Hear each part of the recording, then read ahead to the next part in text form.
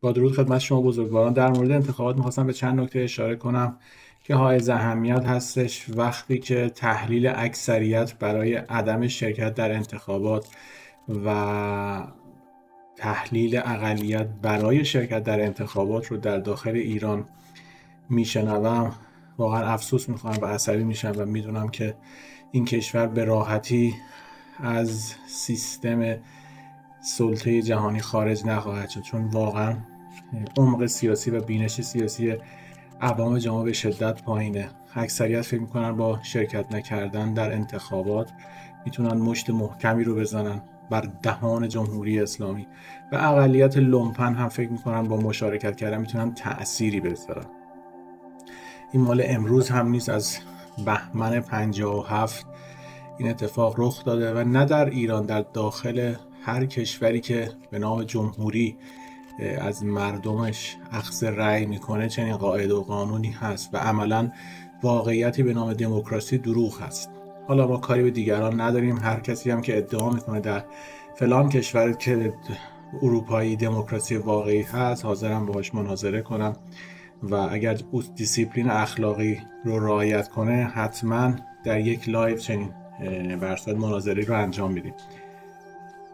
برگردیم مسائل ایران. ببینید ما از سال 1157 به علت یک سری اشتباهی که از نسلهای گذشته ما انجام داد پادشاه ایران انجام داد و متوجه نشد بازی های جهانی چگونه است و اشتباه تاریخی که مردم ایران انجام دادن یعنی این اتفاقات حالا از سال 1320 نمیشه توقع داشت از مردم چون آن زمان به واسطه اون حماقتی که پادشاهان قاجار در داخل ایران نهادینه کردن. پادشاهان ترک تبار در داخل ایران نهادینه کرده بودند جامعه به شدت خرافاتی بود.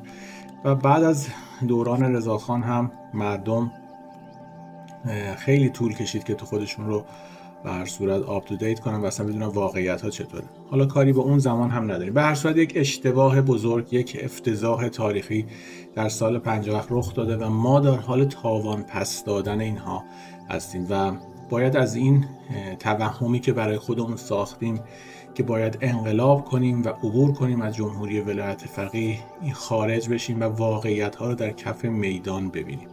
همه ای ما دوست داریم به اون حکومت رویایی ایرانی برسیم به اون آزادی بیان برسیم به برگردیم تمدن و تاریخ خودمون. ولی خب باید واقعیت ها رو مرور کنیم. شما نگاه کنید یونانی که با ارسطو و افلاتون و سقراط رسیده کارش به جایی که داره جزیره میفروشه به کشورهای عربی و تاریخ و تمدن یونان عملا به خاطر مشکلات اقتصادی و اشتباه های استراتژیک مردم که دقیقا مثل مردم ایران فکر می‌کردن.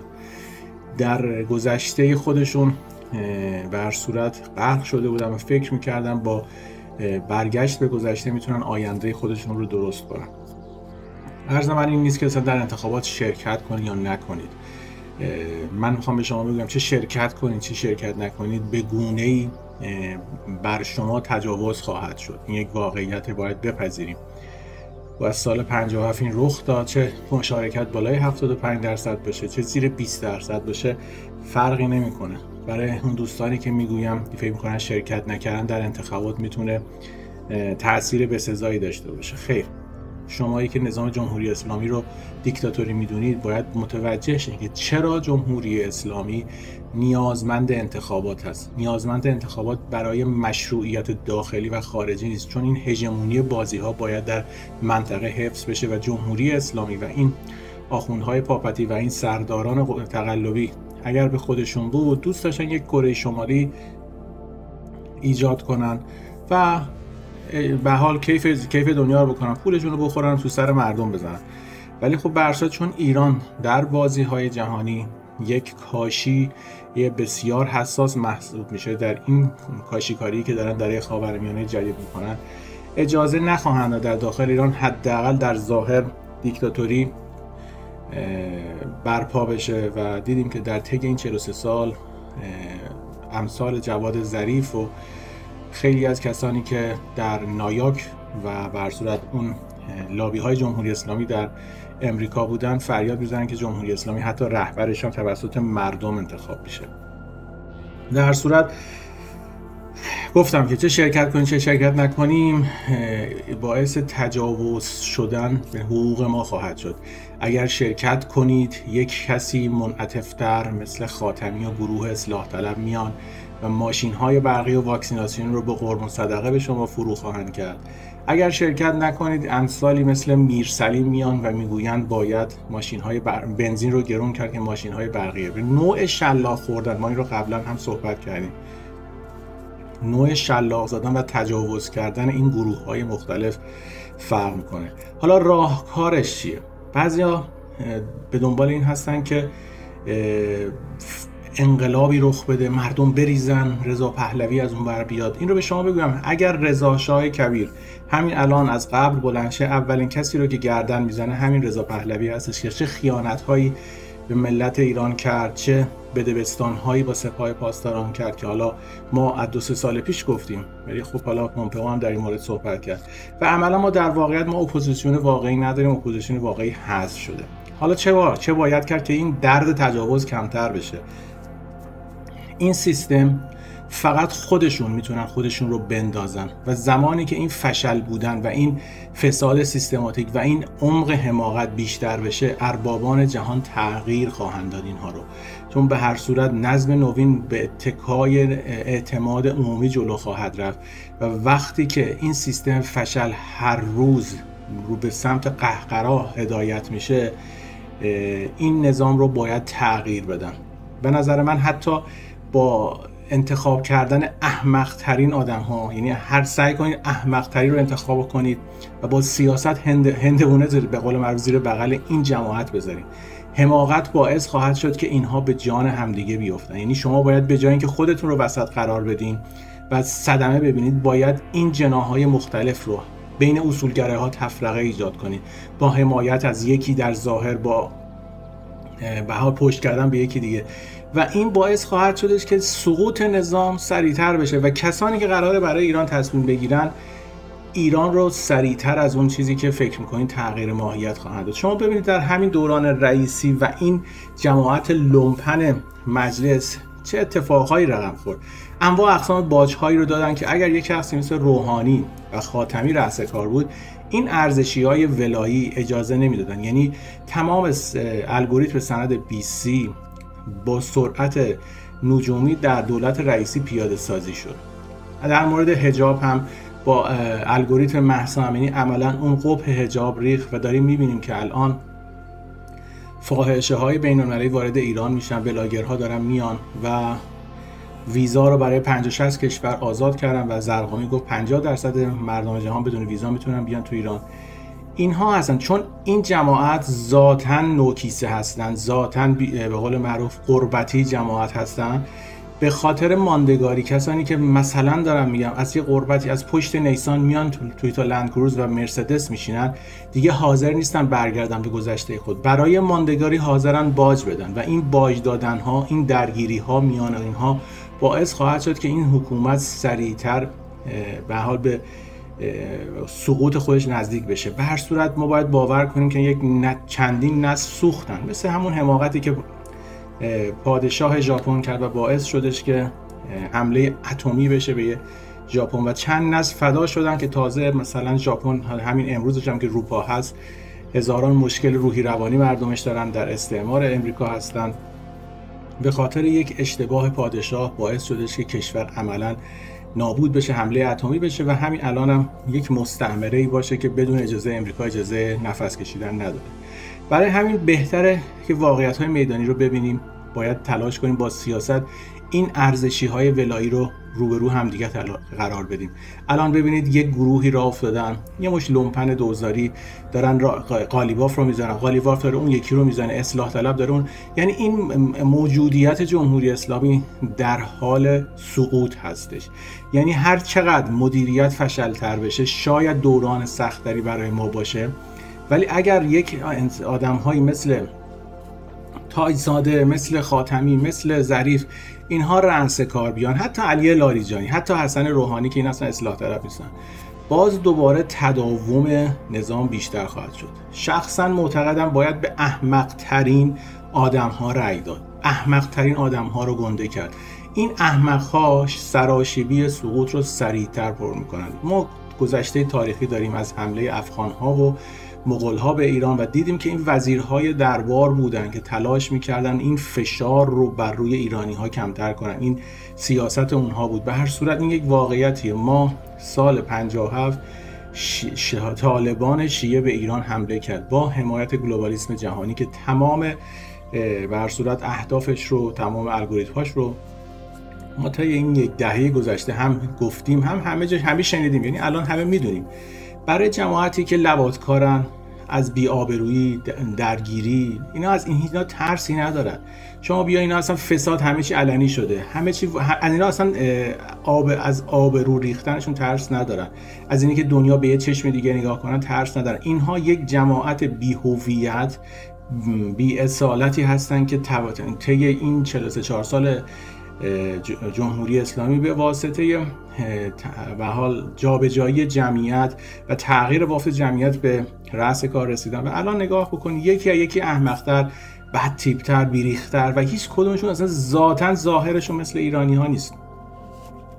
برای همین موضوع هستش که باید سیاست رو خرج بدین تلاش کنید با بازی های درست سر به زنگه ها اینها را به جان هم بندازید. تلاش بدید انتخابات بخواین شرکت کنید یا نکنید گفتم هیچ فرقی نداره. در نوع تجاوز کردن به حقوق ما ربط داره. ولی باید بازی رو به گونه اداره کنید که فشار روی شما کمتر بشه. وقتی مثلا دو جناح با هم بجنگن این فساد شاید کمتر بشه. مثلا زمان حسن روحانی یه گروه اپوزیسیون بود فسادش جلوگیری می‌کرد. ولی وقتی دیدیم این گروه اصلاح طلب ضعیفتر و ضعیفتر شد. فساد هر روز از بر صورت دامنه جمهوری اسلام بیشتر درس کرد. چون دیگه کسی نبود این فساد رو برملا کنه. الان هم تنها راه عبور از جمهوری ولایت فقیه سیاست مداریه و کار راه رفتن از روی و فعالیت کردن از روی اقلانیت هست. هیچ راه سومی دیگری نیست. شما باید بدونید یک قوم لواتکار یک جماعت فاحشه یک سری آدم بی اصل و نسب بی سواد لات ارازل و باش رأس کار هستن. شما باید بدونید با آدم ارازل با زن فاحشه با مرد مفعول صحبت از منطق و بر صورت احترام جایز نیست درگیری در خیابان باش جایز نیست. اینها باید به جان هم بیفتن. احمق ترین ها باید رأس کار بیان. عین زمان قاجاری احمد شاه قاجار اومد. و انقدر فساد سیستماتیک شد که انگلستان و روسیه تصمیم گرفتن حکومت رو عوض کنن.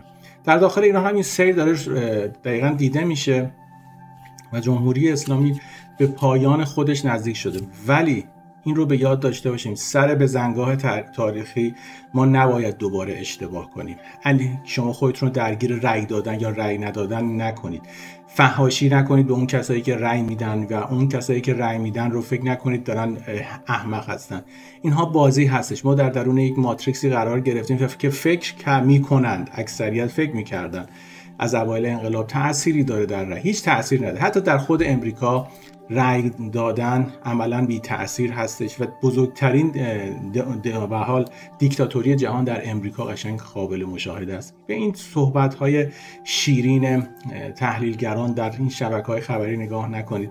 شما ببینید همین الان آمریکایی با 320 میلیون با اون حجم اقتصاد با اون نوابقی که در اونجا هستن رئیس جمهورش که یک ترامپ لات چاقوکش عراض لوباش یه بایدنی که نفس کشیدن هم نمی‌تونه به راحتی انجام بده. برای همین باید بدونیم سیاست داشته باشیم.